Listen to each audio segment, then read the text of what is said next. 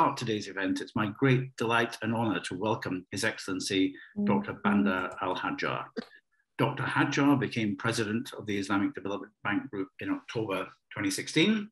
Uh, the bank, as you all know, is based in Jeddah in Saudi Arabia. Uh, it's a multilateral development bank that works to improve the lives of people by promoting social and economic development in its 57 member countries and in Muslim communities around the world. It's a very strong bank. It's received the highest credit ratings, AAA, from the world's ratings agencies. In that same year, when His Excellency became president of the bank, he also assumed chairmanship of the very important committee which oversees, on behalf of the government of Saudi Arabia, the service to pilgrims and facilitates the performance of their rituals. That's a key role uh, of the bank. And of course, Dr. Hajjar, in his role as chair, his additional role as chairperson of the MDBs, the multinational banks presidents meetings, has been hugely influential in leading the SDGs campaigns amongst the 12 banks, such as the World Bank Group, IMF, IFC, African, Asian, European development banks, and so on. But our time is short. We're, we're deeply honored to have His Excellency with us. Um, Your Excellency, may I hand over to you for this uh, today's event, and thank you for joining us. Uh, thank you, George. Uh, distinguished guests, ladies and gentlemen, Assalamu alaikum wa rahmatullahi wa barakatuh. Good afternoon. I am really so delighted uh, to share with you and celebrate, in fact, with you today the launch of the book uh, titled The Road to SDG in a fast changing world. Uh, it reflects the commitment of the Islamic Development Bank Group toward SDG at a time where the world as a whole and developing countries in particular are facing uh, huge and immense challenges. Uh, and these challenges are far beyond the capacity of any single country or institution to deal with, uh, including uh, uh, unemployment, funding, funding gap, and financing gap, to achieve SDG, trade deficit, climate change, fragility, demographical change, inequality, immigration, all these things. So in order to deal with all these challenges, the world needs really to de-globalize and, and strengthen uh, multilateralism and uh, global cooperation.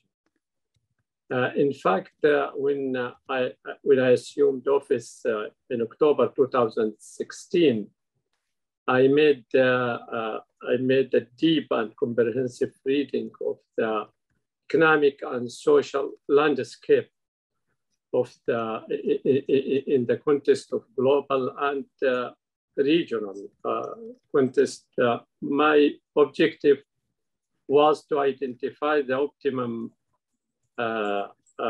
business model for the ISDB to help our member countries to build resilient, diversified, and sustainable economies that capable of attracting uh, foreign and domestic investment and creating jobs and fulfilling its commitment towards uh, SDG and uh, Paris uh, Accord on climate change and the bank uh, Uh, uh, article of agreement. Uh, uh so by after 100 days, we launched the President Five Years Program titled The Road to SDG in a fast changing world. The program, in fact, uh, contains the, the initiative that ISDB intended uh, to deliver in the following five uh, years.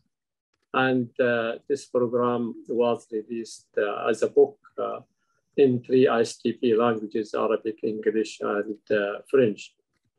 When we look at the ISDB map, uh, the economic and social map, we find our countries in four continents, Asia, Africa, Europe, uh, Latin America, and uh, the, the, the, economy of these countries depends heavily on exporting uh, raw materials and hence jobs with it to industrial the countries, uh, public sectors and government dominate.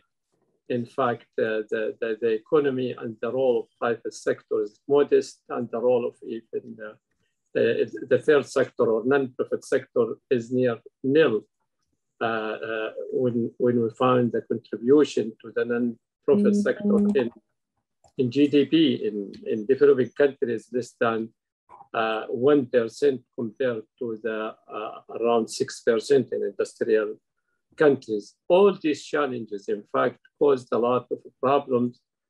And uh, in addition to that, uh, we see the all indicators uh, point uh, to the emergence of a new economic order and uh, world order and uh, featured by economic, social, financial decentralization and accelerated by protectionism and driven by uh, fast technologic technology. See the fourth industrial revolutions and all the things.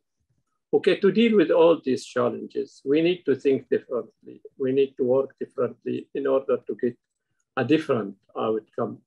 Because if we continue our work as usual, and uh, now about maybe 60 years of uh, development project in our uh, member countries, developing and least developed countries. In fact, uh, we cannot see really a breakthrough so, in this uh, project. So we have really to come up with something different. Uh, so this is why we come up with a new business model. Uh, we call it uh, how to make uh, market work for this uh, for development, and this model, in fact, focus on on strengthening the competitiveness of our member countries in in industries or sectors that have a competitive advantage and and, uh, and trying to uh, also design uh, the, the, value chain for these industries and connect this value chain, domestic value chain with the, with the global value chain. By doing so, uh, by, uh, we, we established, in fact, uh, uh, a way that uh, the country can create jobs, can attract foreign investment, can achieve SDGs. So we come up with this uh, uh, new business model. We call it, uh, as I said, market, making market work for development 1510, which means that if we succeeded in uh, in investing $1 trillion in five uh, major industries that our member countries have a competitive advantage, we will be able to create uh, $10 million, 10 million jobs in the 57 member countries. Because today we we realize that every year about 10 million male and female entering the labor market uh, in the 57 member countries. And by 2030, we will have about 90 million uh, entering this uh, the, the, the, job uh, or the labor market. So the, the role of the ISDB in this new business model will not be limited or unique to the to the uh, financier. It will we will play the role of catalyst, guarantor, financier, partner, facilitator, uh, leveraging on the on the on the uh, our strength, like the uh, ISDB is AAA institution. We are uh, on the ground uh, for in, in 57 member countries. We have an excellent relationship with non-member countries. So all these things we have to leverage on that. Uh, in fact, uh, uh, the, the, this transformation process, it reflects in the, the, the, bright future for ISDB and for member countries because ISDB revive itself to, to become a proactive, agile to the need of our member countries instead of uh, receiving and processing a project here and there. We are now focusing on holistic solution and focusing on the real causes of the development rather than symptoms. When we talk about develop, uh, when we talk about unemployment, or poverty, and so on, in fact, we are talking about the symptoms. We are not really talking about the real causes of unemployment, uh, what are the real causes of the poverty. Then we have to focus on the structural uh, uh, of the structure of all, all, these countries and try to, to, to find solutions. So if we continue working as usual, we, we will face uh, ourselves with two, uh, two choices, either fragility or prosperity. So here we, we, we focus, of course, uh, also on, uh, uh, on, on, on, four tracks in this model, for example, uh, value chain, science, technology, and innovation, Islamic finance, partnership, we focus on many issues like uh, climate change uh, and others. So I will stop here just to give uh, the chance, George, to uh, our colleagues to for their intervention, and then I'm more than happy to receive any questions or comment later on. Thank you so much for. Your Excellency, thank you so much. That was fascinating and a great introduction to this event. Um, I, I, was meant to say up front that we, we would like you to put questions from the audience into our uh, Q&A box, but we don't really have to ask that because they're filling up with questions immediately.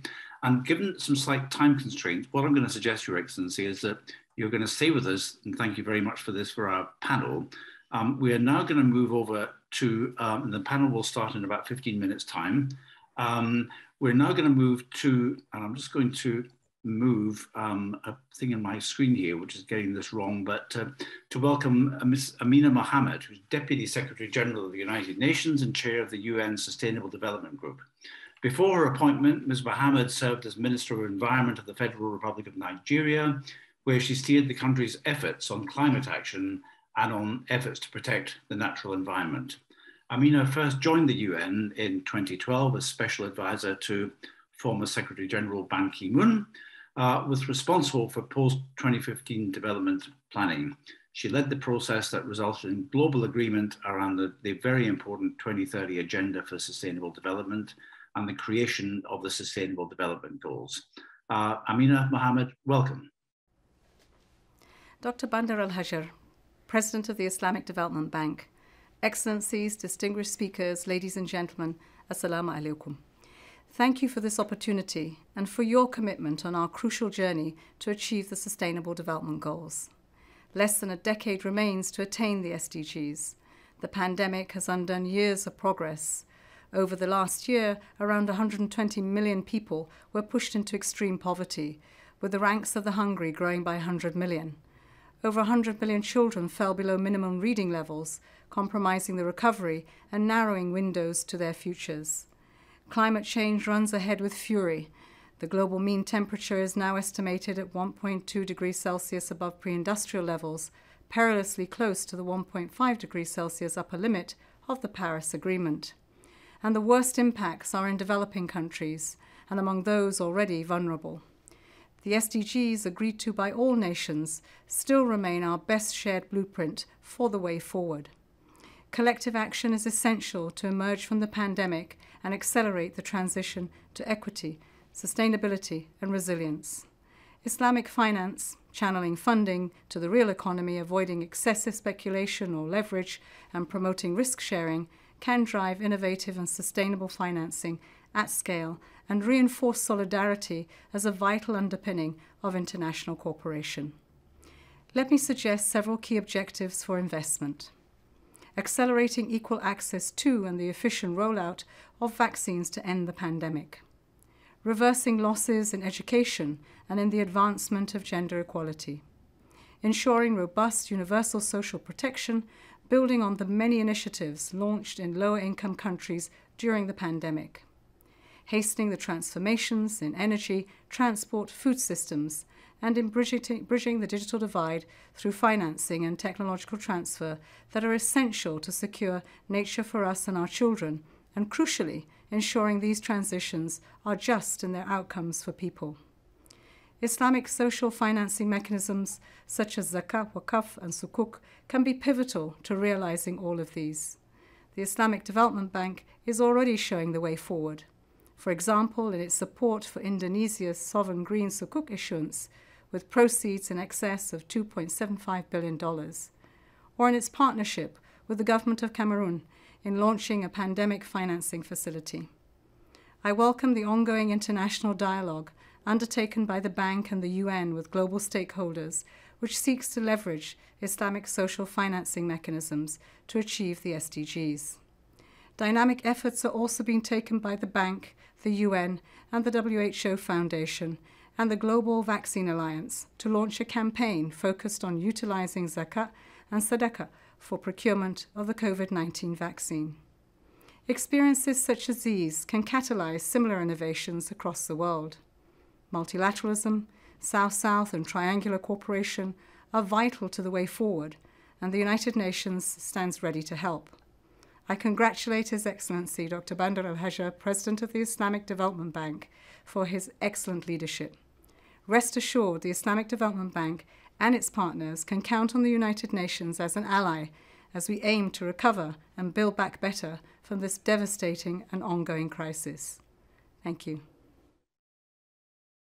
Amina Mohammed, thank you very much indeed. We are indeed on a crucial journey.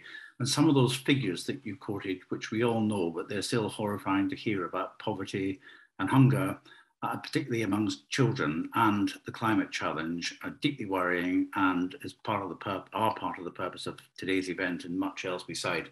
Now, it's my great pleasure, huge pleasure, to welcome Professor Jeffrey Sachs um, from Columbia University, who barely needs introduction, but Professor Sachs, as you know, is Director of the Center for Sustainable Development at Columbia, where he directed the Earth Institute from 2002 until 2016. Um, he is also director of the UN Sustainable Development Solutions Network and a commissioner um, of the UN Broadband Commission for Development. He's been advisor to three um, UN Secretaries General. He spent, as we all know, more than 20 years as a professor at Harvard University, his alma mater, and he has written numerous bestseller books. Most recently, I think, A New Foreign Policy Beyond American Exceptionalism, published three years ago. Uh, Professor Sachs was twice named as Time magazine's 100 most influential world leaders, and far more importantly, was ranked by The Economist, where I used to be a journalist, among the top three most influential living economists. I think some of us there would regard him as being the top of that very elite group of top three. Professor Sachs, welcome and thank you for joining us today. George, thank you very, very much. Uh, Assalamu alaikum uh, and uh, greetings to friends and especially congratulations to Dr. Bandar Al Hajjar with your excellent leadership uh, of the Islamic Development Bank. Uh, you have really contributed magnificently to global progress, global solidarity, achievement of the sustainable development goals, and you've put the bank uh, into absolutely the front ranks of creativity uh, in new approaches to achieve sustainable development. Uh, it's been my enormous honor and pleasure to uh, meet with you uh, over the years and to uh, listen to you and to learn from you uh, about the ways forward globally the role of the bank is of uh, exceptional importance, uh, of course with uh, your 57 member countries, uh, 1.9 billion people, one fourth of the world's population. Uh, how could it be anything else but uh, the uh, Islamic Development Bank uh, in the forefront of support for such a, a, huge part of humanity to achieve the future that we want? Uh, Amina Mohammed uh, just put it in very straightforward uh, and important terms. We need investment. This is the basic word for the path out of this crisis and the way forward to sustainable development. Of course, we need investment in a variety of areas, uh, in people themselves, first and foremost, in our children, in their education and their skills, uh, in their healthful upbringing, their nutrition. We need investment in uh, health services, obviously, in the capacity of all regions of the world to produce vaccines and uh, uh diagnostics uh, and uh, medicines. This is not the last of the pandemics that we're going to confront. And we have seen the power of science, but we have also seen how uneven. Uh, the uh, ability to harness that science is around the world and how it is the sad fact that no country, no region can depend on the goodwill of others in a world where there is often a scramble for uh, urgently needed commodities. Each region needs a capacity to produce uh, and to be in the forefront of the necessary science and technology. We need a new infrastructure globally. This is uh, clear and extremely pertinent, uh, of course, for many, many of the countries uh, that are the members of the Islamic Development Bank, because we are going to be shifting from the fossil fuel age to uh, the uh, zero carbon age. We are on a path of decarbonization. Uh, many members are among the leaders of uh, the hydrocarbon uh, industries of the world.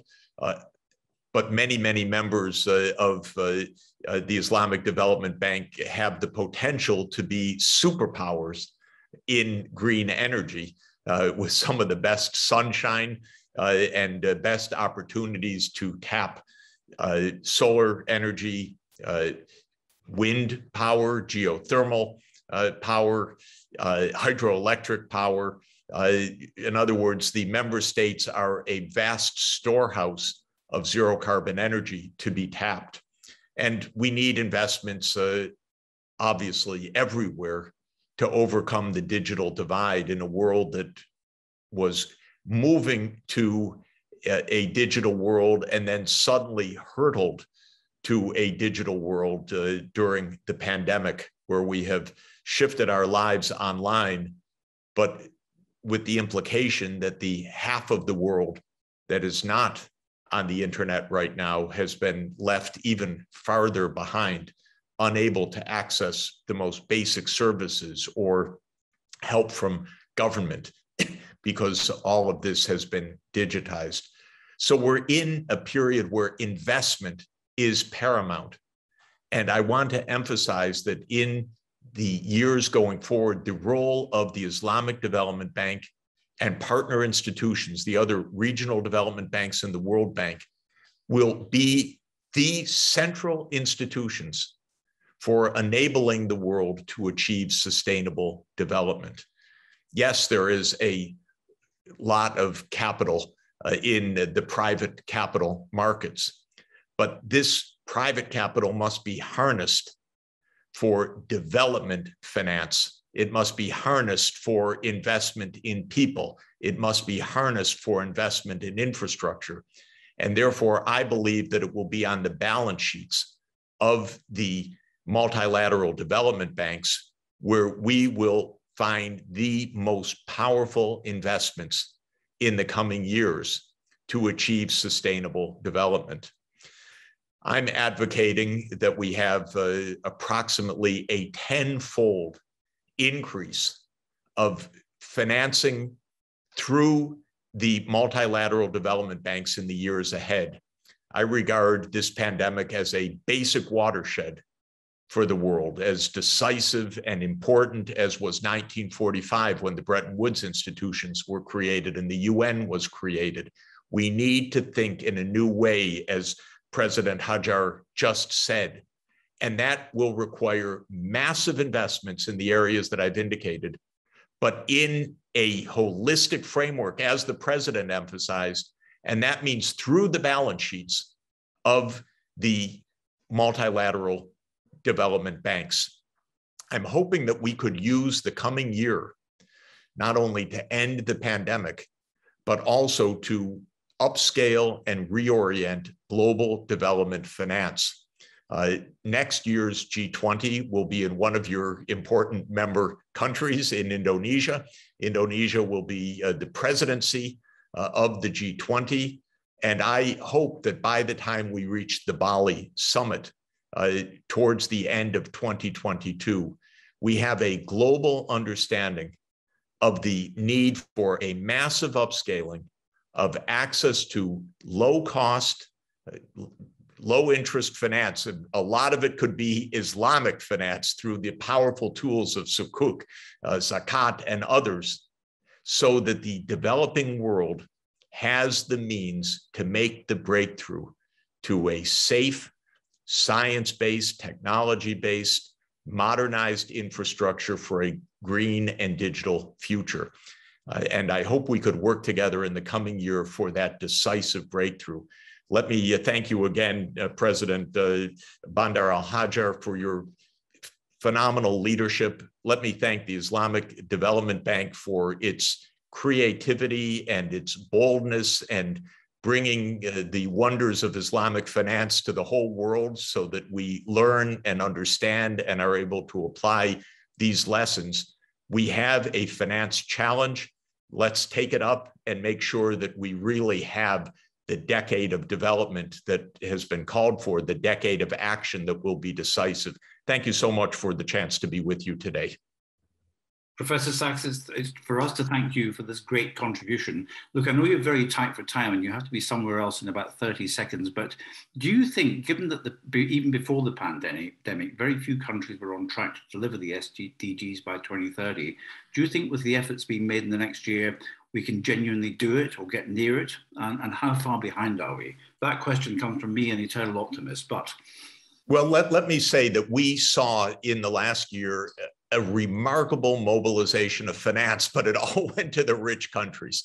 Uh, the IMF showed last week that $17 trillion for COVID response were uh, mobilized by the advanced countries, but for the emerging economies, under 4 trillion and for the low income developing countries that's a category of 57 countries many of them uh, uh, islamic development bank members it was under 2 trillion. So what we learned george in the last year there's plenty of finance at very low interest but it's not being allocated to the billions of people that need it. And that's where the multilateral development banks have to play a decisive role and where we need to show to governments all over the world that for a small amount of paid in capital, they can leverage vast amounts of new lending that will finance the kind of future that we're looking for. Professor Sachs, thank you very much. I'm sorry to run over my time with you, but this has been great. We must tempt you back to our screens very soon. Anytime, uh, thank you. Thank you so much for joining us. I'd now like to invite our panel, um, led by um, His Excellency, to the screen. I'm going to ask His Excellency in a moment, uh, based on what Professor Sachs just said, what can others, the multinational, multilateral development banks and um, other organizations, particularly financial, financial institutions, learn from what ISDB has done during his time there and what his colleagues have achieved. But can I welcome to our screens now, if the technology works in this way, um, Dame Susan Rice, um, chairman of the GEFI Global Steering Group, um, Professor Ismail Serageldin. I will introduce them all properly when they begin to speak. Professor Serageldin is founding director of the Bibliotheca Alexandrina, Latin for the New Library of Alexandria. And a bit more Latin, delighted to welcome our good friend Stella Cox. Um, Stella um, is the Latin for star, as we know, uh, from DD Capital, uh, one of the great leaders of the UK financial uh, Islamic finance uh, industry. But Your Excellency, may I start by asking you what sort of lessons you think others, particularly the MDBs, can learn from the great work that you and colleagues have done in the past five years and, and which uh, Professor Sachs has just rightly praised? Uh, in fact, uh, first of all, uh, as I mentioned earlier, that uh, we have really to think differently because doing the same thing more than repeating the same thing will uh, not give us a different uh, outcome. This is uh, definitely uh, true. But uh, when Professor Jeffrey mentioned that and Amina about the, the need, we need to investment in everything. In fact, the problem is not with the investment. the, the, the money there in the capital market, capital market the global capital market has more than $300 trillion waiting for investment. The point is how to help our member countries to create the enabling environment that attract the private sector. And also we need to expand our partnership. Instead of focusing on PBs, public-private partnership, we should expand it to five Ps which is public-private philanthropist people partnership. We got to engage everyone in the development process in order to ensure the, the impact uh, on, the, on, the, on the ground. So this, this is, uh, this is uh, very, very important. We need also to, uh, to, to, to make a shift in a paradigm shift in the, in the, in the development. Uh, uh, this is also very important in order to, to, to ensure the impact of each dollar on, on, on made in the, in the development. So this is very, uh, in addition to that, in fact, uh, we, we have to, uh, uh, when, when, we talk about, uh, for example, Islamic finance and green sukuk and science, technology and innovation, for instance, we need uh, all these problems, it needs an innovative uh, way of thinking. And this is why the ISDB is the only MDBs that created a fund with 500 million dollars, and we call it Transform Fund, to encourage uh, the, the, the innovators, the, the small businesses, universities, and other to to uh, to participate and uh, and uh, and uh, provide so, scientific solution to the development problems, and we try to to help our member countries to, to establish the whole STI eco ecosystem because the, the gap now between the developing countries and industrial countries is very big and it is widening in, in, in terms of innovation and solutions. And this is, uh, if we look at the innovation as a, a driving force for, for economic growth and job creation, so here in our member countries, the, that those uh, young male and females who are the talented, they, they are really, they don't have an access to, to risk capital. So how we are, how we are going to link the risk capital to the growth and innovation in order to make, a, make it, uh, make access to, to that. With regard to the Islamic finance, uh, it is very important really to look at the, the principle of Islamic finance are not really unique or limited to the Islamic faith. Uh, they're, they're, they are shared with the major uh, uh, religions across the globe and the basic principles are, are universities are uh, universal and can be shared even if they are if they were not uh, labeled as Islamic, uh, Islamic finance. So, and in this context, for instance, when you take a Great Britain, see, for example, the, the UK is, was the first non-Muslim countries to, share, to, to issue sukuk in 2014.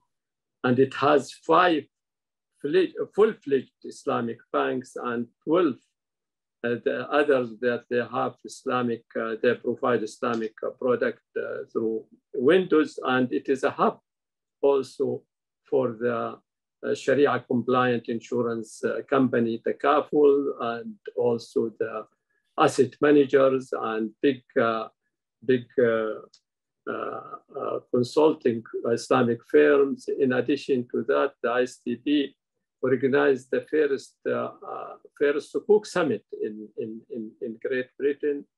In, uh, in, and the second one was in Luxembourg. So, so these eh, issues, we have really to look at it in a holistic uh, way uh, on, on, on, on solutions. But the main important thing is to be proactive and to, to try to help our member countries in, in sectors that they have a competitive advantages, not to finance fragmented project here and there. And we have to really to get out of the comfort zone that we used to to be there. Uh, always people talking about uh, thinking out of the box, but the, at the same time they enjoy being inside the box.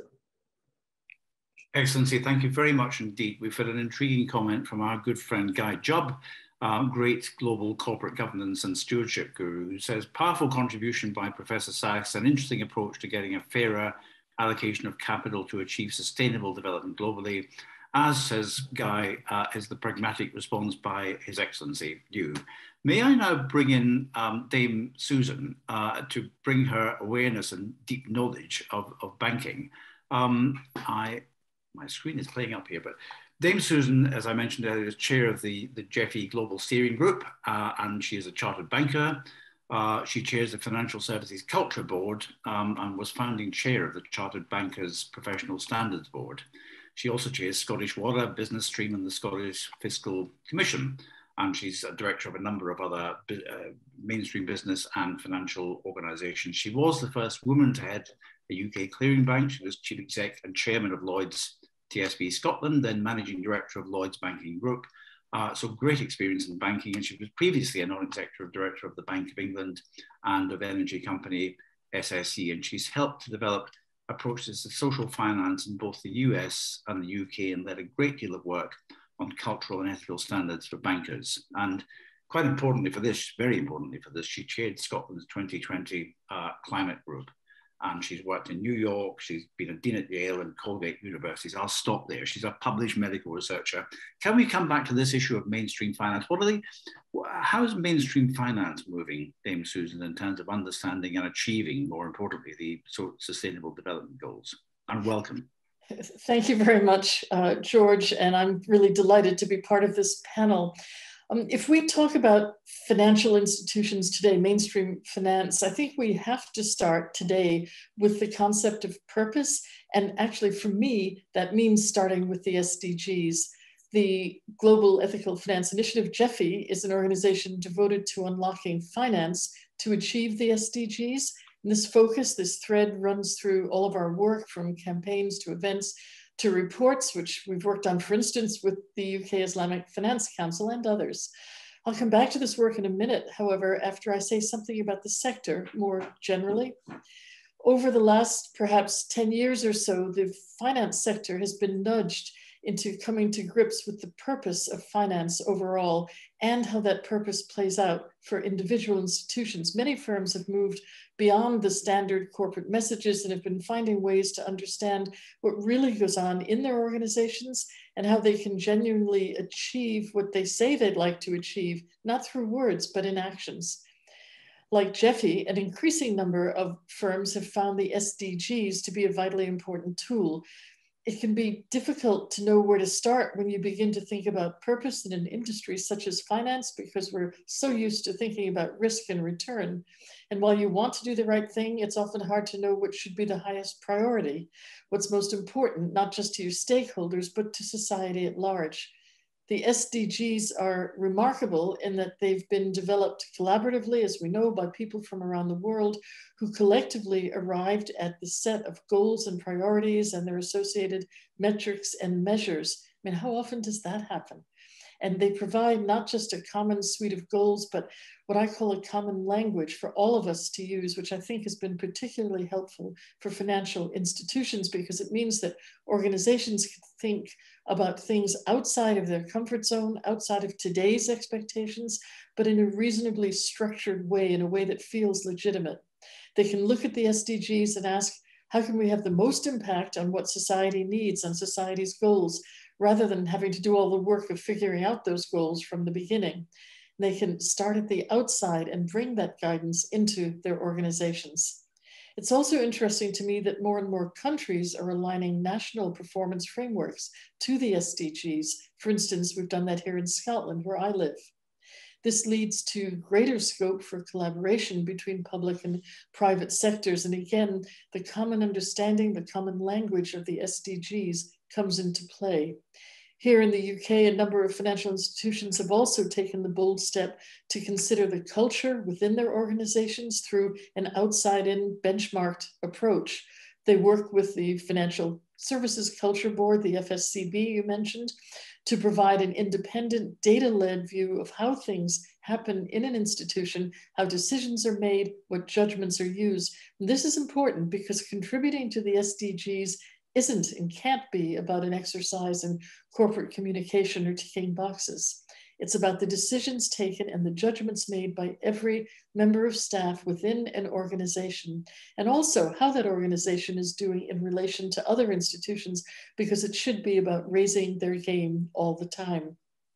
So let me then come back to GEFI recognizing the enormous potential the SDGs have to guide finance as it seeks to serve society better. At GEFI, we've worked tirelessly to promote the SDGs within the finance sector. We've done this through campaigns as a stakeholder endorser of the UN Principles for Responsible Banking, which of course incorporate the goals, and on our own Path to COP26 campaign, uh, which has been going on for, I think, over a year now, ahead of the Glasgow summit this November, we're devoting time towards examining faith in the context of the SDGs, which, of course, this event is about, alongside considering nature and net zero and other key SDGs. We've supported the UK IFC's Islamic Finance and SDGs task, task Force. We've done some of this through hosting events, numerous events, in fact, including a dedicated session on financing the SDGs at our recent Ethical Finance 2021 summit at the beginning of the summer. Now, as much of what we do is focused on climate, the SDGs relating to the environment are important in that regard, but climate and society can't really be teased apart. We found the SDGs to be an important tool for looking beyond climate, as in the S in our recent ESG session in June, where we considered social finance. Finally, as well as events and campaigns, the SDGs have featured prominently in reports that we've worked on. Uh, again, particularly with the UK IFC, where we've supported the work on Islamic finance and the SDGs. And another of our reports recently looked at ethical policies for the new Scottish National Investment Bank. In addition, we've been campaigning on interfaith finance with our Edinburgh Finance Declaration. The initial report demonstrated the common ground between the Christian and Muslim faiths relating to values in finance, and a follow up showed how each of the six values we identified aligned with the SDGs. The ability to translate these values into the SDGs makes it so much easier to show any business how it can practically incorporate them into their day to day work and align their activity with government and societal goals, and thereby reflect and demonstrate their purpose, which is where I started. Thank you. Dame, Su Dame Susan, thank you very much indeed. Uh, tremendous. Can we return uh, later on to this question of the financing of the SDGs and particularly looking at the role of individuals through their investments, through their pension schemes and so on in uh, this very important part of the world. Can I turn now, though, to the, the theme of science and technology and in innovation, which we've touched on, His Excellency touched on at the beginning, um, and turn to Professor Serageldin. Professor Ismail Serageldin, as I said, was founding director of the Bibliotheca Alexandrina, uh, the new library in Alexandria, which started 20 years ago, roughly. He's currently emeritus librarian and a member of the board of trustees. Uh, he serves chair and a member of a number of advisory committees for academic research, scientific and international institutions, such as as co-chair of Nizami Ganjavi International Center, and he's a patron of the International Science Council. Uh, Professor Serageldin has held many international positions, including as Vice President of World Bank from, I think, 1993 to 2000, Professor Serageldin. And he's received many awards from global bodies, and he's lectured widely all over, over the world. He delivered the highly prestigious Mandela Lecture in Johannesburg in 2011, the Nexus Lecture in uh, the Netherlands the same year, and the keynote address, the first international summit of the book, which I'm very sorry I had to miss in Washington uh, nine years ago. And he's published over 100 books and monographs and over 500 papers on issues which are very important to this theme today of biotechnology, rural development, sustainability, and very importantly, the value of science to society. I should say that as well as degrees from Cairo University, uh, Professor Sachs, he, he, has, like Professor Sachs, a master's and a PhD from Harvard and has over 40 honorary doctorates. Alas, not on the wall behind him because he's not at home, he's in Washington right now. Welcome, Professor Serageldin. How significant is science, technology, and innovation in achieving the SDGs? Well, uh, they certainly are, and I would like to uh, uh, add uh, to this CV the most important uh, thing. I'm very honored to be a member of the Science Advisory Board of the Islamic Development Bank under the leadership of His Excellency uh, Bandar al-Hajjar and the leadership of Dr. Hayat Sindi. And uh, we provide advice uh, to the Islamic Development Bank and to the Transform Fund. Now, the Transform Fund is very much about the possibility of the, the innovations in uh, science applications uh, in the member states uh, for dealing with a lot of issues, including health. For example, we just had a major round dealing with uh, uh, cancer uh, and women and so on. But uh, what we have to recognize is that uh, there are two kinds of issues that we have to face if we are going to have a major impact on climate change which is SDG 13, but is also really an overarching uh, issue. And hopefully in Scotland, you'll be meeting uh, for the COP later on this year. Uh, the key problem is that we are on a track to go to four degrees, four degrees, uh, plus or minus 3.7 to 5.2. We are not on track to reach the one, stay in 1.5 or to reach uh, two degrees. And uh, when we hear a lot of the innovations and how renewables are taking more and more of the space, it's mostly in the electricity generating part. And that's only about 15% of the total consumption of energy of a country. Uh, uh, the rest of it is still very much dominated by fossil fuels.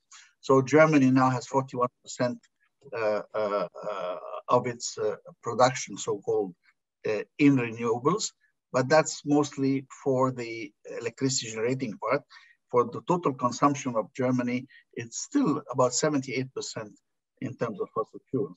And that means we have different kinds of things that will need different kind of innovation, including the issues that uh, Dr. Hajjar talked about when he said the paradigm shift, and he talked about moving from 3P to 5P, because we have huge, you know, sunk investments, whether it's in cement plants or in or in or in steel plants or whatever that really uh, uh, have a long maturity period and that consume a lot of, uh, of energy and are having an impact where the innovations will be required and financial innovation will be required.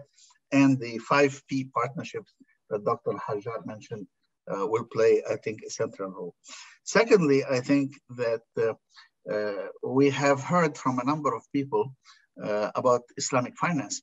And one of the factors of that is zakat. And zakat is really a, a wealth tax. And uh, because it's whatever has lasted for a full year, uh, definition of capital, and therefore it is not a, just a flowing income. The third part I would like to say is that scientific innovation has shown, uh, we used to talk in the 1970s and 80s and 90s about appropriate technology for the poor countries. And that usually meant dumbing down whatever was being done in the advanced countries for uh, uh, the conditions in the poorer countries. Now that has changed. We saw how we went from almost uh, 3% uh, of the world having mobile phones to almost two thirds of the world having mobile phones today. And mobile phone is a very sophisticated piece of equipment. And it ties with all sorts of other possibilities, including GPS, including all sorts of things that can and could not be done. And the poor countries have shown in many cases how they can innovate in institutional arrangements that use these technologies, starting with uh, uh, Grameen Bank and Grameen Phone in Bangladesh, We've seen M-Pesa banking in East Africa, uh, primarily in Kenya, but elsewhere as well. And uh, that shows that uh, the ability to promote the STI, the, the, the, science, technology, and innovation that the Islamic Development Bank is doing is really on target. And I believe it will have a major impact, both in terms of applications, but also by involving the people in these innovations and in their own activities there, we will do extremely well. Last point I would like to, make, to say is that we talked about people having competitive advantage. Well, there's one thing that's almost always produced locally or very largely produced locally, and that is food. food in many countries. And yet we are facing very severe challenges in the agriculture sector and we need to move towards precision agriculture. And I'm happy to say that the Islamic Development Bank is also looking at that. That will be precision agriculture will enable the poorest countries, especially in sub-Saharan Africa, where 95% uh, of the of the agriculture is rain-fed, uh, and we know we expect more variations. One year of uh, of uh, drought and one year of flood is not going to be helpful for the very poor farmers there. We need to find a way to ensure that that food is significantly produced, that the supply lines are in place, that the support mechanism from agricultural credit all the way to new seeds, all the way to precision agriculture is all feasible. And uh, again, that's what an initiative I think that the Islamic Bank is taking is also, in addition to the STI, uh, is also going to be very helpful.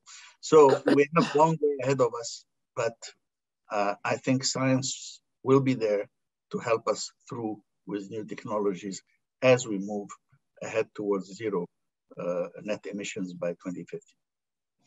Professor Seragal, thank you very much indeed. I'd like to return in a while, in a little while, to those issues you raised about uh, the practical applications of science and technology in the developing world, because it's one of the really fascinating themes in the book, which is how uh, technology is being used linked to financing, of course, to achieve great results. And I'd also like to now, if I may, last but not least, to bring in Stella Cox. Um, Stella has worked in the Islamic financial marketplace for more than 30 years, and she can give us great guidance now, I think, on how, again, reflecting what the book is about, um, Islamic finance has got a key role to play in the SDGs. Stella, since um, the late 90s, has been managing director of DDCAP Group, um, and under her leadership, DDCAP has pioneered Sharia compliant intermediation services, and she's brought much automation to the industry, uh, serving clients and counterparties around the globe, both inside the firm and by investing in other uh, startup and scale up businesses, which is great. Um, DDCAP was one of the first Islamic financial sector firms to be awarded the Principles for Responsible Investment, PRI, signatory status, and Stella represents DDCAP in the Islamic Finance and the UN, Sustain UN Sustainable Development Goals Task Force, which we mentioned earlier. The inaugural meeting of that took place in July last year, and that was convened, as we said earlier, by the UK IFC in partnership with UK government.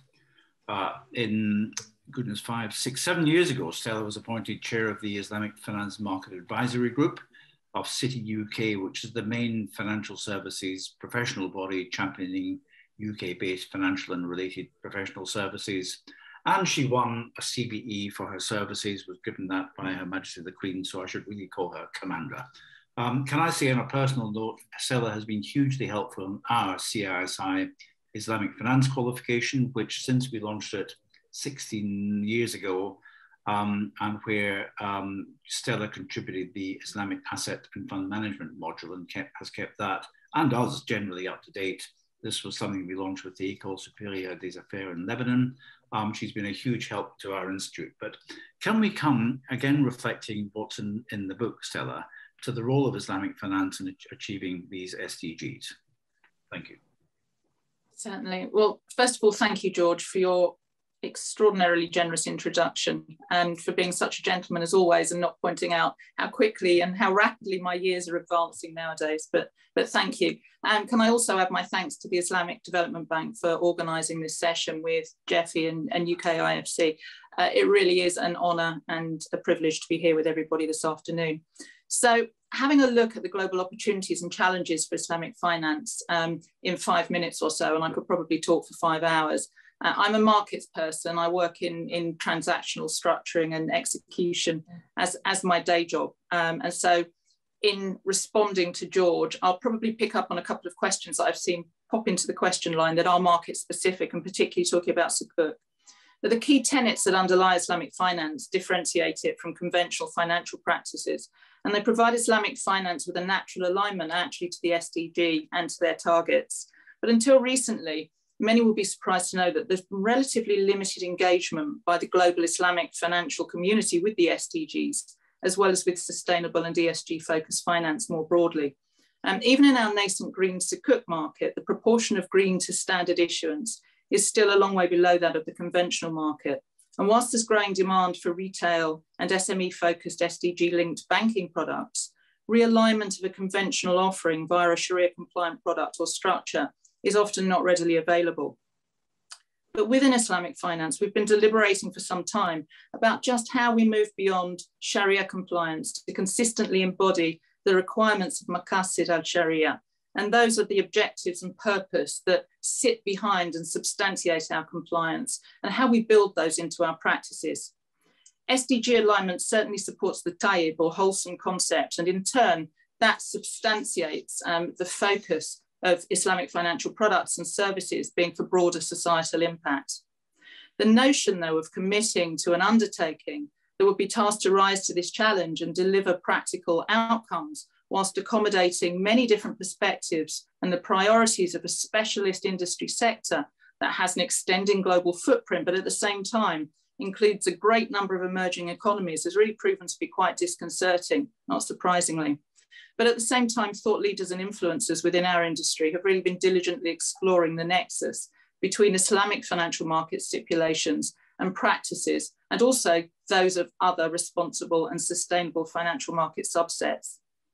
So the outcome of that debate has resulted in various Islamic financial sector initiatives, and amongst them has translated into the formation of the Global Islamic Finance and UN SDGs Task Force, and that launched in London um, last year.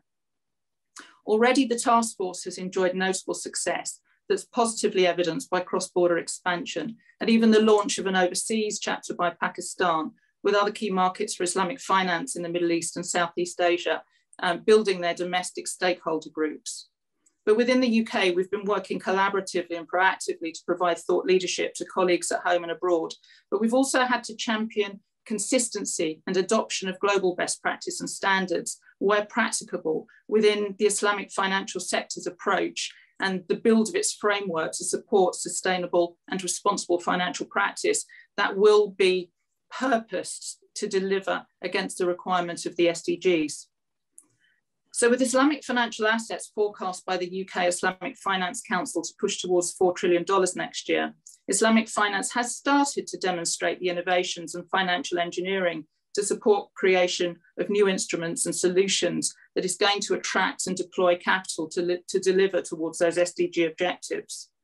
Um, and His Excellency the President was, was, was remarking on that need for innovation.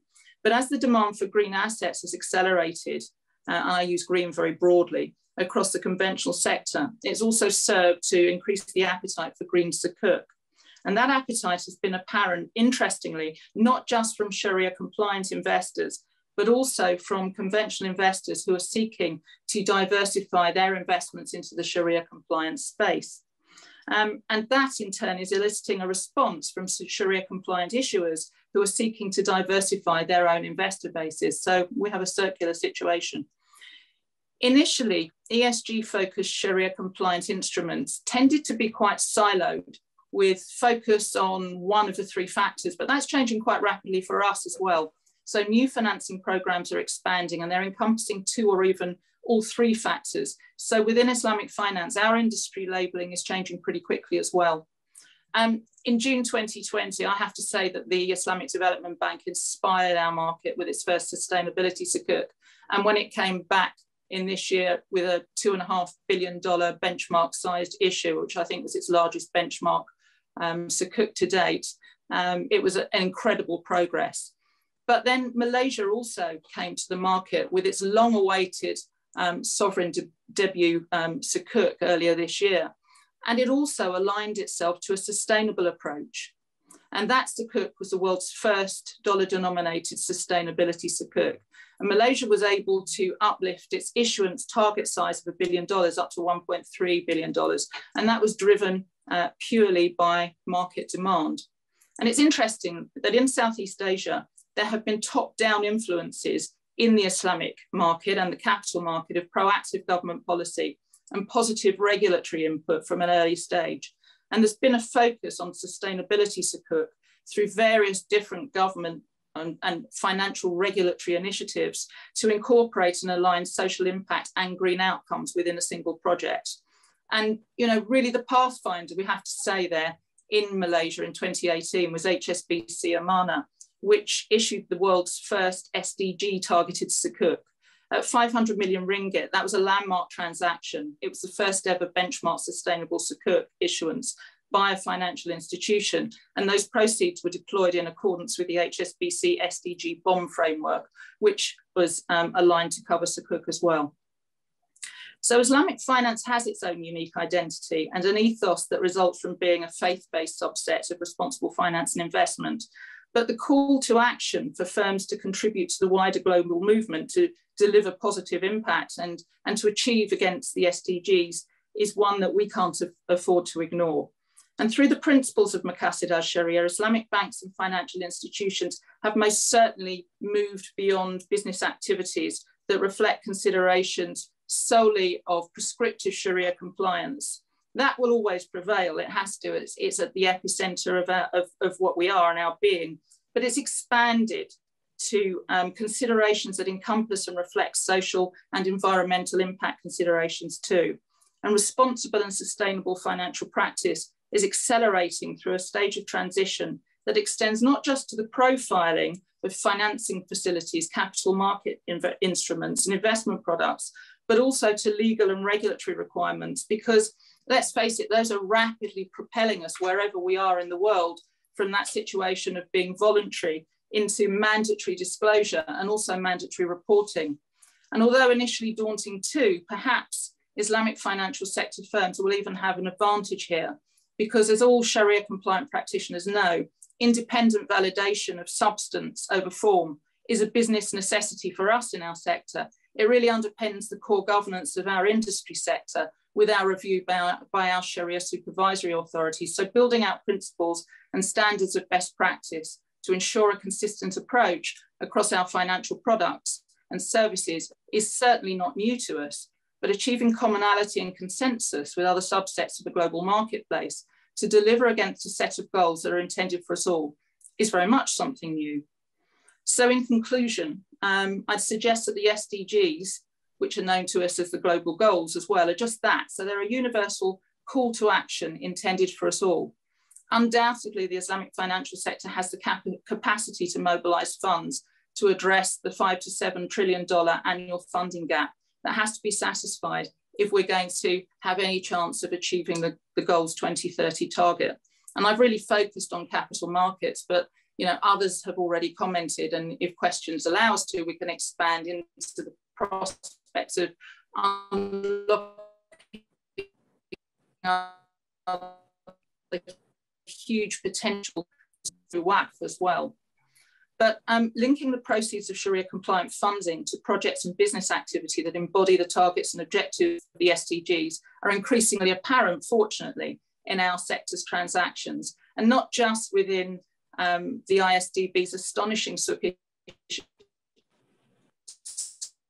issuance approach, which is world leading, but also recurring green Sukuk issuance in Malaysia's groundbreaking sovereign sustainability Sukuk and an accelerating volume of capital markets issuance by SDG aligned corporates across the Middle East and Southeast Asia. Interestingly, a lot of those are taking those corporations through their own transitional process as they look to move, move towards a, a low carbon economy targets. So as we approach COP26 in November, through the combined efforts of our industry stakeholders and not least the task force, Islamic financial market firms and practitioners will and must continue to focus on the interconnectedness of the 17 SDGs and how this industry sector can accelerate, can accelerate our delivery towards achieving them. Stella, thank you. A masterly overview as ever. I'd like to come back to you shortly to talk about some of the practical initiatives that you are taking inside DDCAP on this whole area. And Your Excellency, I'd like to turn to you in just under a minute on, on, on some of those practical initiatives which lie at the core of the excellent book that you've just published, which I would commend to everyone, um, and looking at the work you've already done at the Islamic Development Bank and uh, to consider looking at the issues around unlocking global private capital and heading it, directing it towards the SDGs.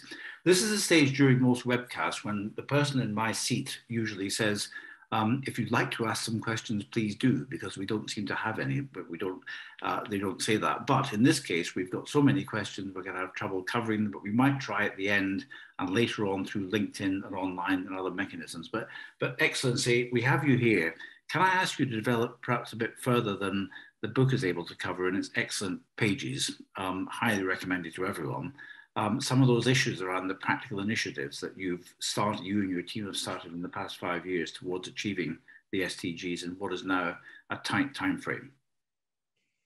Okay, uh, thank you. I just would like to uh, highlight a few points which has been uh, uh highlighted in the, some of the intervention. First of all, with regard to the importance of STI in the new business model as you know, that we, we conducted a, uh, a comprehensive study to identify uh, five uh, major industries that our member countries have comparative advantage.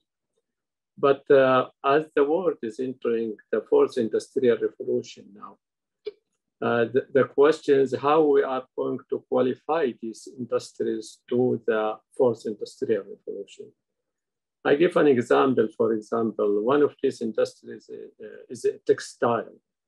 When we see the textile industry in Bangladesh, uh, for instance, it hire about 5 million uh, people there.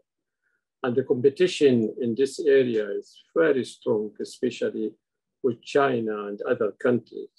So if we don't, if, if Bangladesh does not really uh, qualify this industry to the fourth industrial revolutions, that means about 5 million people will, they will lose their job. And if we see if every uh, worker is, is, has a family with five uh, individuals, that means we are talking about 25 uh, million.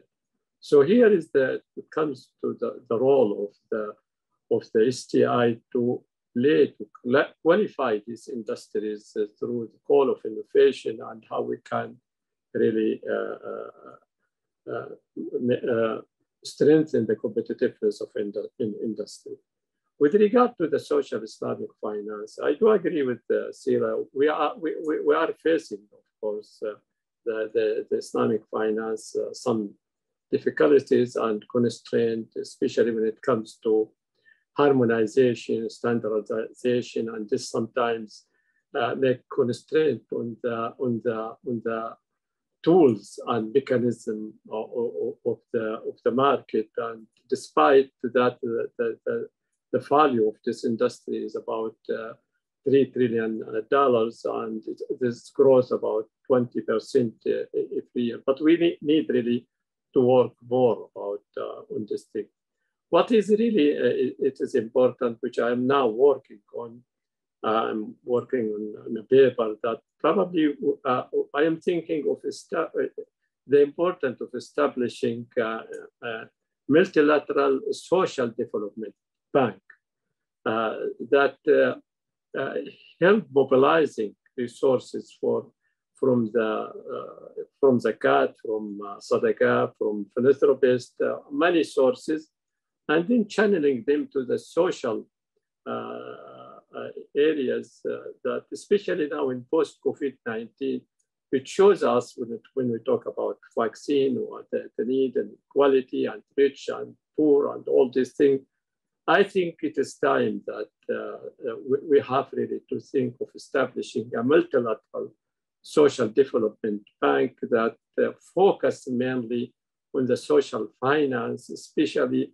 now, as uh, some of our colleagues here mentioned that uh, this pandemic, it, will, it is not the first, that will not be the, the, the last. Uh, and also, we are talking about, about the about climate change and natural disasters. And our member countries, especially the least developed countries, uh, with weak infrastructure, uh, and uh, with the heavy dependence on agriculture and tourism. When they are hit by, uh, by, by, natural disaster caused by climate change, they, this will cause more poverty and hunger and economic, social, and security problems. So this is uh, the, the, the, it is not for, it is not just uh, it needs economic solution or health solution, it needs social solution. And the, the, the, unfortunately, the financial resources that are allocated to social aspect is uh, very minimal. So we need really to expand this sector. As I mentioned, that the, the, the contribution of non-profit sector in our member countries is, is less than 1%. So always the, any economy, like in, in, in the West, you find very strong public uh, sector uh, with the very organized private sectors and also uh, the, the third sector and all of them, they complement each other. In developing countries, you either you find strong public sectors, weak private sectors, and non-existent for the non-profit sector. So we have really, uh, if we establish such a bank, it will strengthen the, the social sector, the non-profit sector, which is really needed. Now, when we talk about vaccine, uh, if we have a strong non-profit sector, it will help to, to bridge this gap of the inequality between rich and country and poor country, and even on the, on the level of individual. So this is, uh, this is very important really to move, to move forward and to learn, a lesson learned from the, this pandemic to think about how we can, and, uh, and uh, when we think about how many foundations, philanthropic foundation in the world, especially in the Western countries and in which sectors. We find it in different sectors, that's huge. So how we can really leverage uh, this, how we can mobilize resources and united our efforts under one umbrella, such a, a multilateral social development bank and move forward uh, towards these uh, issues because uh, it is, uh, it, is, uh, it is difficult that to focus on two sectors, just public and, and private sectors. We got to engage, to engage all these sectors. So I'm now working on producing such a paper and probably we will expand the discussion with regard to this, but this is very important. Excellency, thank you very much, and we look forward to that paper. Can I come to Professor Ismail in a few minutes to address one specific thing that His Excellency raised, which was around natural disasters and the sort of resilience that uh, science and technology can offer to those at many different levels. But may I turn first of all to Dame, back to Dame Susan to talk about some issues around um, liberating private capital uh, to address some of the SDGs. We've our members working in wealth and asset management, uh, the rather faster moving ones, find that a number of their clients are particularly keen to invest in areas um, through their pension funds and other mutual funds and direct investments in activities around health and education and agriculture and uh, renewables that are all part of the Sustainable Development Goals uh, tartan. Um, I'm not selling ties, but I should promote this. Um, and can you do you have some thoughts on how we might help um, our members, for instance, and the whole community uh, trigger some of that quite large sum of money um, for the SDGs?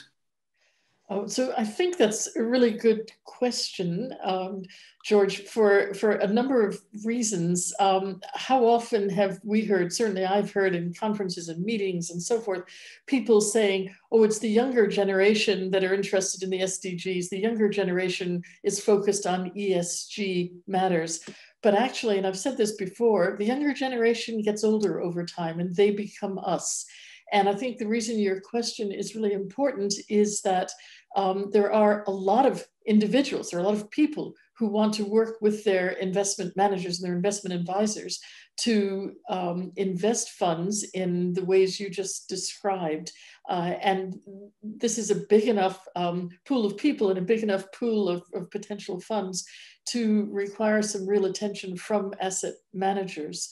Uh, so I would just make that comment uh, to begin with. Um, another general comment is um, how interests change over time. So I think for a while it's all been about the environment, it's been about the E and ESG, uh, and still is in a very real way. But more recently, the S, the social aspect, uh, the people, um, how people um, are coping or not coping um, in, in, in parts of the world, the, the, the, growing divide that we've all seen and spoken about, not just, but certainly exacerbated by the pandemic, but before that as well.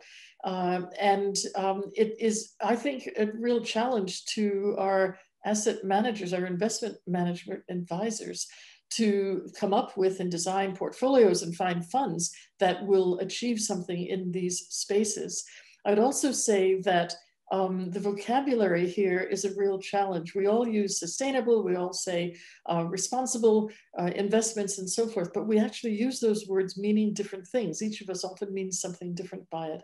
So it's important to have um, uh, sort of a good grasp of what it is we're interested in, what it is we care about and want to look for. Um, and at the end of the day, and I think this is really important, um, I think that the big factor here is time because you can invest in many things and get a return of whatever sort um, in a short period of time. And then you can see harm, damage, or the loss of that return over a longer period of time. So there is something about our investment management community, our financial advisors, helping guide individual investors to understand the importance of um, impacts that are not purely financial, uh, which is presumably what they are looking for, um, whether those impacts are real and genuine and are they lasting over time, because that's really when it matters.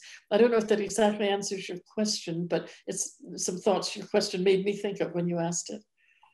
It, it does indeed. Thank you very much, Dame Susan. And certainly this question of time and patient investment is hugely important. Sitting here in Edinburgh, I know, I know the importance of patient investment um, over many years.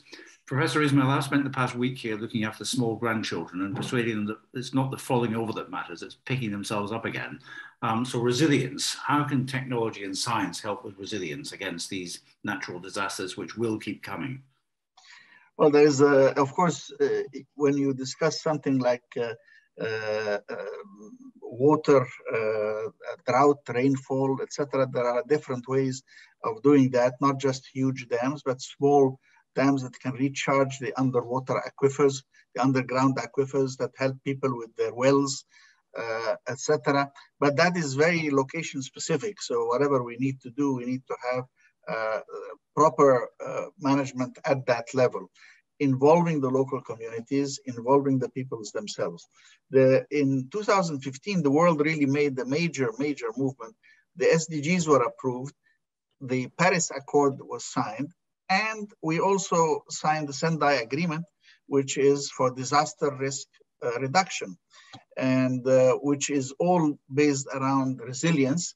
And uh, it is a way of assisting both with buffer stocks, with better distribution systems, with the reduction of waste, with a lot of other things that enable people to be able to survive what comes. But we have seen recently, believe it or not, and I think we're, we're talking with uh, Dr. Hajjar in uh, Saudi Arabia and Kuwait and so on, 49 degrees in Canada in Canada, we had 49 degrees, uh, the whole western part of the United States. You saw the floods in Germany, where it went up three, three stories high in no time. So the extreme weather events are not just uh, uh, in uh, sub-Saharan Africa or parts of Brazil or so on, they are also in the industrialized countries. And I think this uh, awareness that uh, uh, things are moving much faster than we anticipated. We're not waiting to 2050. It's be, extreme weather events are happening right now. And uh, I think that therefore the resilience part of that will be expanded in the near future. Uh, and uh, we have the mechanisms for a lot of that, but we still have to search for some of the bigger issues that I mentioned at the beginning, like the cement and steel plants and so on, because we still need them and how are we going to deal with that uh, as opposed to uh, electricity generation uh, and maybe transport. So we have to look at, at some of these other uh, aspects as well. Science is there. In fact, it is only with science that we will be able to do this. Without the science, we'll not be able to do it. Everybody talks about artificial intelligence and uh, ICT, but there is a real revolution in the new biology. I've had the privilege of working on several panels with the U.S. National Academy of Science and the American Academy on these issues. And, uh, and that revolution raises ethical questions and how you're going to deal with living organisms and so on.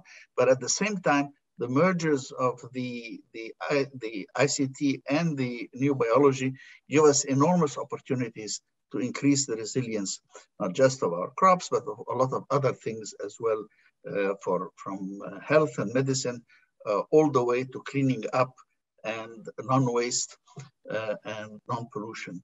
Uh, all of these are important parts of what we are facing and science and technology and innovation, which the Islamic Bank has been uh, uh, supporting through the Transform Fund is a central part of addressing that. Professor Ismail, thank you very much indeed. Uh, we're, we're, running out of time here, but so many of these theme, themes could pick up and carry on for the rest of the day, but we must come back to many of them. But um, for now, Stella, may I turn to you finally? We've talked here about patience, we've talked about resilience, we've talked about community engagement. You are at DDCAP all three, maybe sometimes not completely patient when you want to achieve things, but mm. tell us a bit about, would you, about how you've approached the integration of SDGs into your sustainable and responsible actions commitment, please. Yeah, certainly. Well, I'm quite aware not everybody will be familiar with, with DDCAP, but we're a, a market intermediary and we work predominantly for wholesale banks, financial institutions within the Islamic financial sector. And we also develop automated solutions for their banking capital markets requirements as well. But in response to your question, George, we've aimed to be a first mover in our space. We try to lead by example. So we, like many others, are committed to developing a more sustainable, equitable, and prosperous world. But we try to do that by connecting the Islamic financial marketplace responsibly. So we support the view that those in business um, must adopt strategies that go beyond just seeking purely and delivering financial results. And, and, and we try to achieve positive social and environmental outcomes. And this whole path for us really came after we made our own independent commitment to Sharia standards and established our own Sharia supervisory board back in 2013. And after that, we felt that for us, the natural next steps were to work towards best practice standards for sustainability and responsibility. And we took a gradual path to adopting that, and we called it our SRA agenda, Sustainable and Responsible Actions. Um, and initiatives relevant to it have been formulated and approved at the highest levels of our leadership. But within the organization, we've really very much managed the message from the bottom up. And that's something that I think Dame Susan was, was talking about earlier, making sure that everybody is included in this. And so from inception to implementation across two years, and we're a smaller organization, I know it can take others much longer. Um, policy was evolved, we looked at our documentation, we looked at sustainability screening, we particularly looked at Ethos AFP, which is our proprietary facilitation platform for our client transactions. And that is linked into commodity and physical assets. So we have to look closely at that. And we're also very privileged to be able to nominate within our Sharia Supervisory Board an SRA champion, who's Dr. Mohammed Akram Laldin from Malaysia. Um, but the development of our SRA policy has been shaped externally by multinational initiatives to promote responsibility and sustainability, and sustainability and increased awareness of ESG concerns, including the UN SDGs. Um, at DDCAP, we closely identified with the SDGs and, and we, we worked initially to um, identify those targets and objectives that were most relevant and align ourselves with them. But speaking from DDCAP's experience, there's a real valuable role that engagement with, with multinational initiatives can, um, can have in impacting the direction that an institution takes. So if you look at PRI and PRB, they call upon signatories to individually incorporate ESG issues into their analysis and decision making and into policies and practices. And we have been a signatory to PRI since 2016, PRB more recently, 2020. But we also commit to promote industry and implementation of the principles and work together with those in our marketplace and others to enhance effectiveness and also to promote disclosure of our activities and their, and their progress. Um, where there has been engagement by the Islamic financial industry and its banks and institutions with the SDGs, um, it's very interesting that there's been a lot of commentary about, about about the S or, or social impact. And historically, I think in Islamic finance, we've been rather good at that part. And, and, and typically there's been less emphasis on environmental considerations or on initiatives like UN PRI or PRB, which support governance. Um, the UK Islamic Finance uh, SDG Task Force has been really important in expanding that work. And I think um, we've been engaging very closely with the SDG Task Force since it was incorporated last year, because it's been positioned to help address this disconnect um, with, with the other factors and to promote engagement with and adoption of the UN SDG by Islamic financial institutions globally. So the task force has established theme working groups, which at DDCAP we consider are vital in promoting and bringing industry awareness of the E and the G, particularly as we're leading in, as I said before in my opening remarks, to COP26 in November. So at DDCAP, we've been strong supporters of those working groups and their objectives because through them, we can also help to create pathways for greater practical engagement by IFIs to support the development and acceleration of a more rounded contribution to industry, as well as enabling us to better understand actual and potential customer demands. And I know I saw some questions pop up about metrics that we really haven't covered, but for us, you know, in our industry, we're still looking at frameworks and principles and guidance and guidance notes. And actually the metrics are starting to build, but we need to form the foundation to do that. So by understanding those points better, in turn, it's helping us to educate customers and clients and highlight to the institutions that we work with where the demand for SDG linked financing actually is. So finally, returning to the S. Um, as I said, Sharia compliant financial practice has a real long history of alignment with financing for social impact. And I think His Excellency's ideas about, about um, social banking are, are, are really inspiring.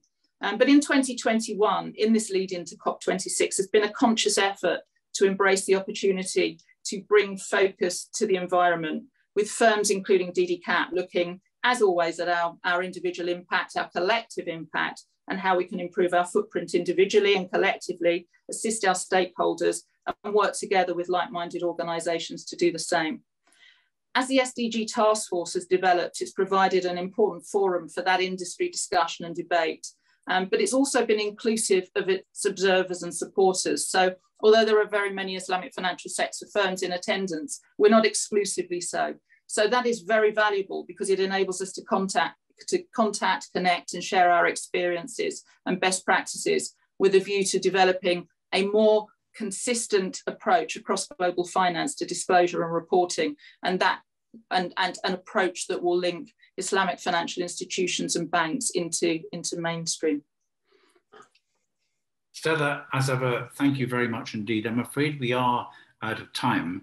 Uh, there are many, many questions which have come in which we haven't been able to answer, but let us use those either to answer them directly and certainly to inform future coverage from the teams at UKIFC at GEFI, and I'm sure that colleagues at ISDB will be looking at them as well. Can I thank you all for watching uh, this really great program, which I've enjoyed as well as being honored to, to moderate. Um, thank you for all the great questions. Thanks to the teams at GEFI and at UKIFC for putting this all together and running the technology, and also to Dr. Hayat and our colleagues at the Islamic Development Bank. But most of all, thank you to our great team of speakers, to Dame Susan, to, to Stella Cox, to Professor Ismail, uh, to Jeffrey Sachs earlier, and to Amina Mohammed. But most importantly, thank you for a great book and some great presentations from Dr. Bandar Al-Hajjar, His Excellency. And may I ask um, His Excellency um, to uh, say some concluding words. And can I just add before you say that, that I mentioned Guy Jubb earlier, who, who is one of my great heroes in the world of finance and a friend. Um, and um, he has just said he's learned a lot, which from coming from Guy, Professor Guy Jubb, is, is a great compliment. It's been a wonderful event. Your Excellency, thank you. Uh, thank you so much, uh, uh In fact, uh, uh, first of all, the, the institutional transformation and uh, it, it, it, was really uh, supported uh, by the, the board of governors of the bank, the board of executive directors, our member countries, especially the host country, the Kingdom of Saudi Arabia. So to, to them all, I would like to express my sincere thanks and appreciation.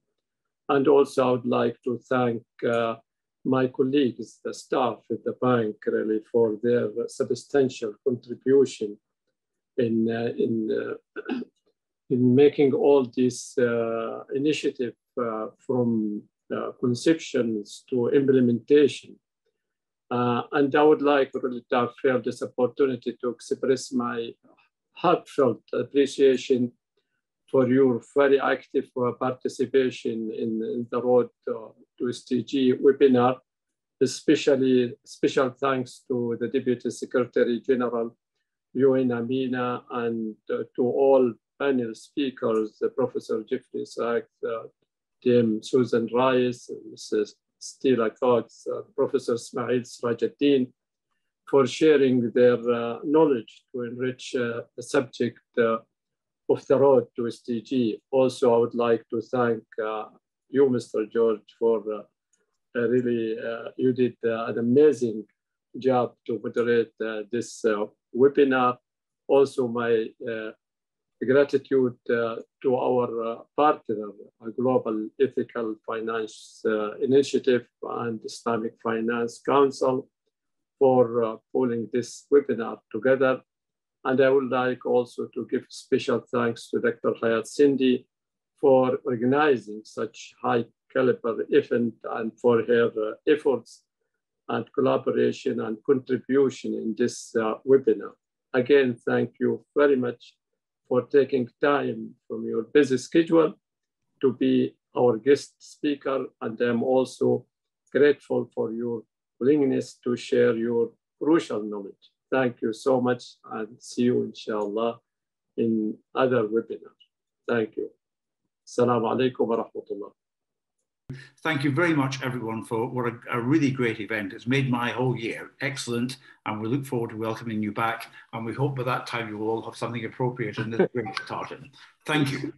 Thank you. Thank you so much. Bye bye. See you.